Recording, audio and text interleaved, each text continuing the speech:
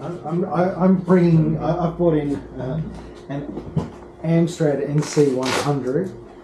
And the reason I brought this in, like I'm normally the Apple guy, but my actual first personal computer that I owned as a kid, uh, my parents picked up at some kind of charity auction in 1992 an Amstrad NC100 and I got given it as a gift either Christmas 1992 or Christmas 1993. I'm pretty sure it was Christmas 1992.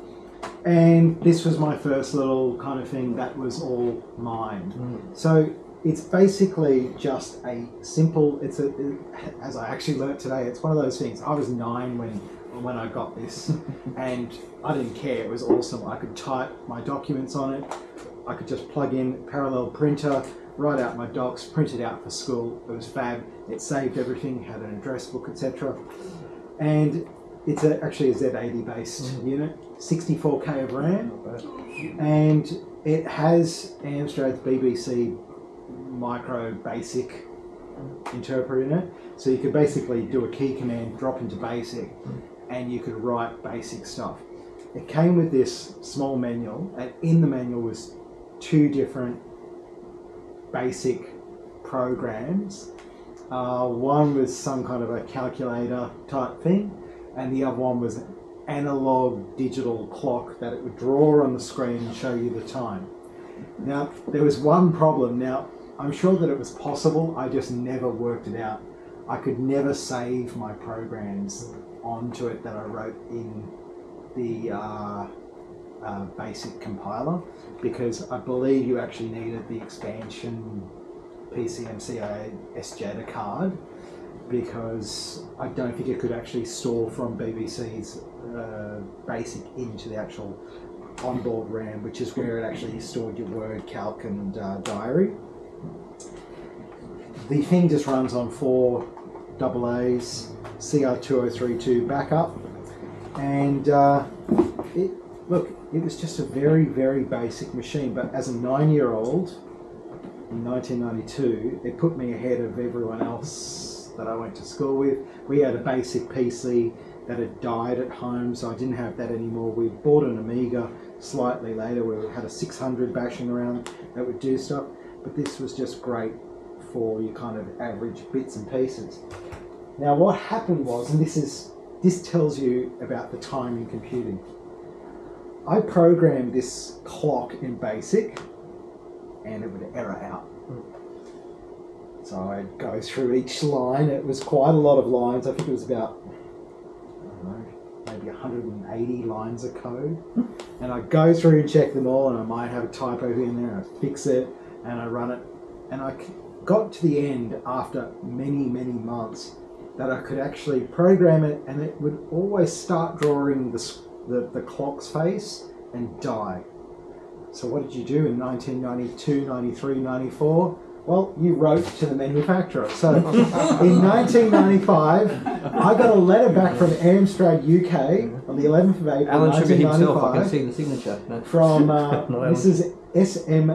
Lawrenson, the customer care executive. Dear Mr. Franulović, thank you for your recent letter concerning the NC100. After consultation with our technical liaison department, their advice is as follows.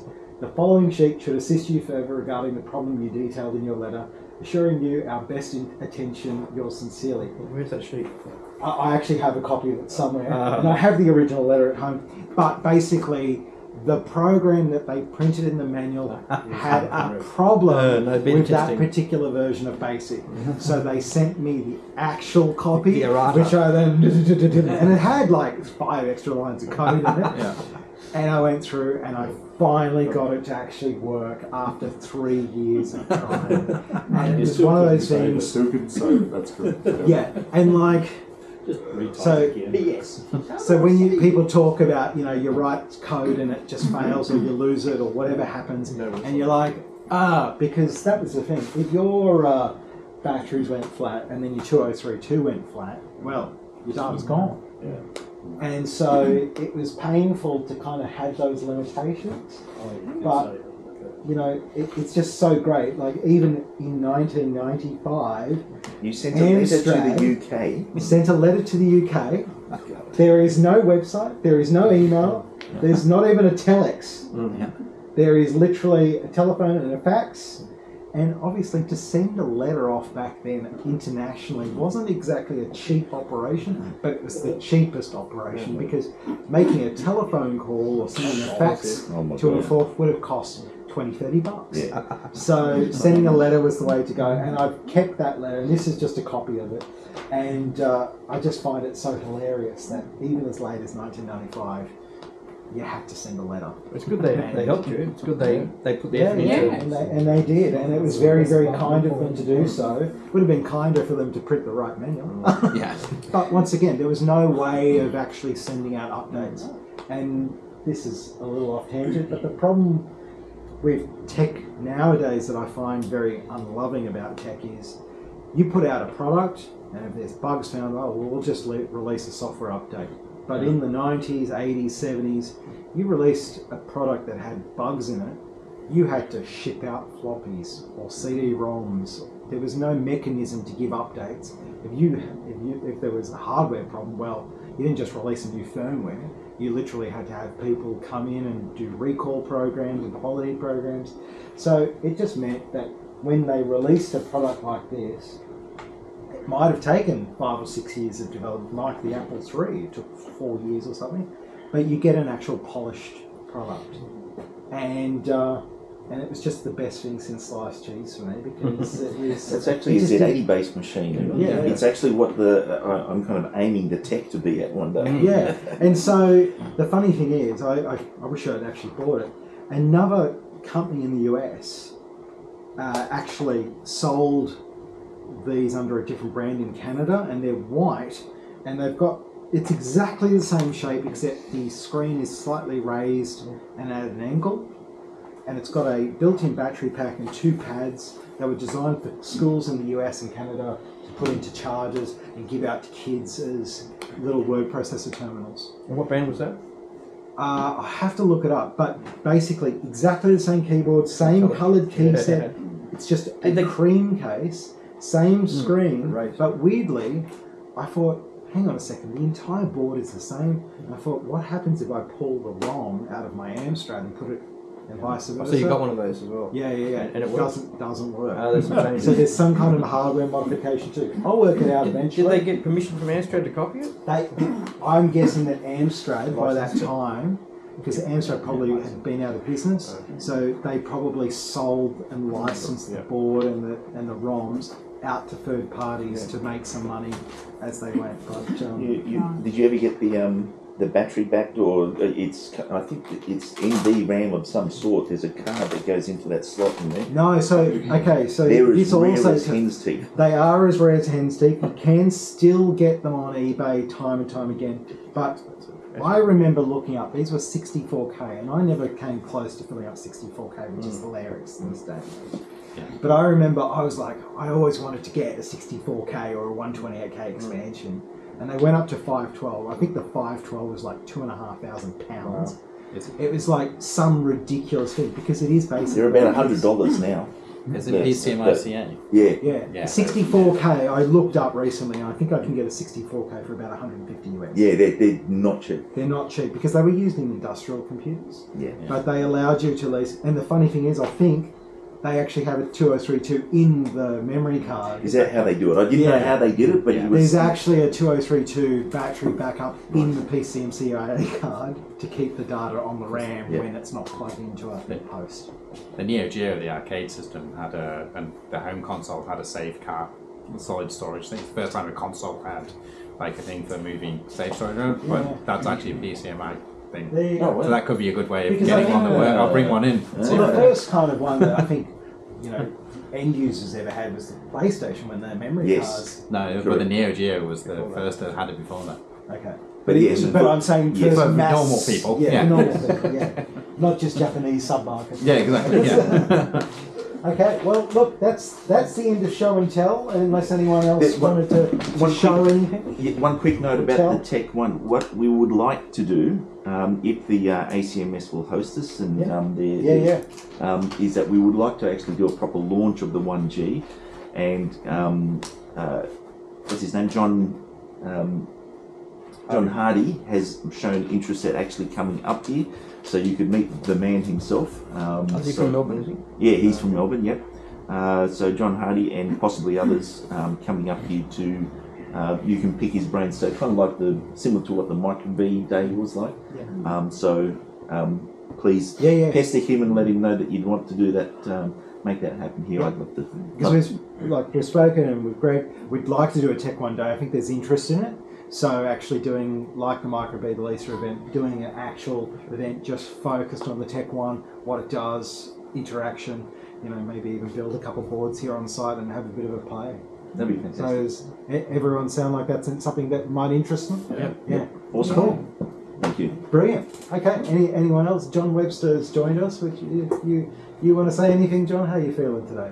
I'm fine. Well, Very I'm good. Fine enough. Yes. Yes. Still feel old. Happens to the best of us. There's only one thing I listened to you all that I it occurred to me that uh, you were all spoilt. 16k. My first machine had 1608 bytes. Nine-year-old kids get their own personal computer. So- I know, right? It's like yes. And then after, after 10 years, we moved up to a mainframe that had a bit over a megabyte. Yeah, so, uh, Luxury. and of course, it, uh, Yeah. one thing it had was the discs weren't very big. Some of the discs we got around here they only had held seven megabytes. Yeah. I only had, only had five of those. That was why, of course, the people left the century number mm-hmm. off the dates, yeah. which led to an event in 1999. Y2K. Oh, ah, yes. Some of you might call Y2K. Don't worry, 2038's coming. It's fine.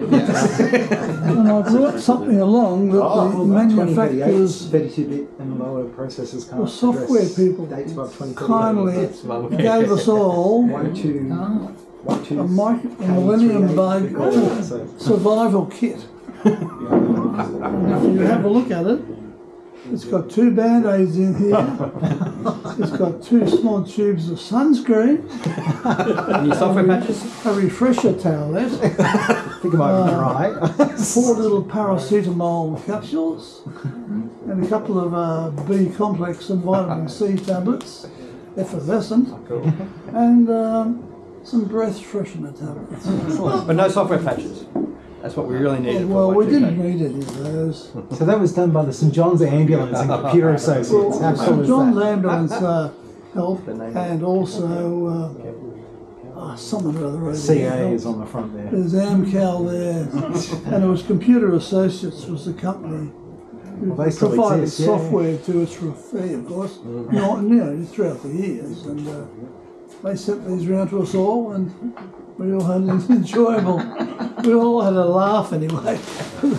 There was a lot of Y2K paraphernalia around, I'll say. Sounds And like different images. exactly what I needed on New Year's Day, though.